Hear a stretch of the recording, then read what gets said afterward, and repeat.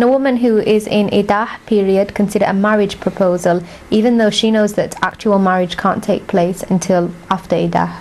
No, considering, uh, we have to ask what's the meaning of considering. If it's like uh, some young man coming or some man coming and making proposal, so that is disliked Islamically. Okay, but if she is in her mind thinking of maybe marrying this person or that person, so that's like thoughts uh, in these type of issues were not like sinful for these type of thoughts. But the actual proposal uh, after, in the waiting period uh, is disliked uh, Islamically. That's